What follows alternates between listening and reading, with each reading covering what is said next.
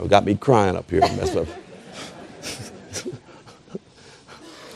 Well, the Bible says in John 13, 34, and 35 that they recognize us as God's disciples for the love we have for one another.